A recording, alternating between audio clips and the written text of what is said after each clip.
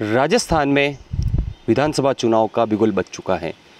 भाजपा, कांग्रेस, या कहें स्थानीय पार्टियाँ दम लगा रही है, दम झोंक रही है ताकि आने वाले चुनाव में जनाधार उनके साथ हो।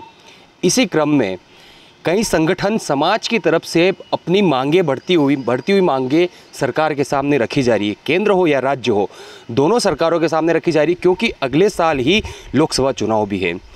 इसी क्रम में बांसवाड़ा में सात साल बाद एक बार फिर एक बड़ी मांग उठी है, जिसमें बड़ी संख्या में लोग एकत्रित हुए हैं और रैली निकाली और उसके बाद जनसभा हुई है। जनसभा में भी रैली से ज़्यादा संख्या में लोग पहुँचे हैं। बांसवाड़ा शहर में ये रैली निकली और खेल मैदान में जनसभा हुई। मुद्दा था आरक्षण। जनजातीय उपयोजना क्षेत्र टीएसपी ट्राइबल सब प्लान के लिए 73 प्रतिशत आरक्षण की मांग जो 2016 में उठी थी, एक बार वापस से उठ चुकी है। चुनाव से छः महीने पहले विधानसभा चुनाव जो राजस्थान में होने वाले हैं। इसके लिए आदिवासी आरक्षण मंच मिशन तिहत्तर की तरफ़ से एक रैली का आयोजन किया गया और रैली में बड़ी संख्या में यूथ पहुँचा और खेल मैदान में, वहाँ खेल मैदान में एक बड़ी जनसभा हुई। इस जनसभा में बड़ी बात यह थी कि मंच पर आदिवासी आरक्षण मंच मिशन के जो पदाधिकारी थे, वह तो मौजूद थे ही, लेकिन तीन पार्टियाँ, तीन पार्टियों के पदाधिकारी भी मौजूद थे।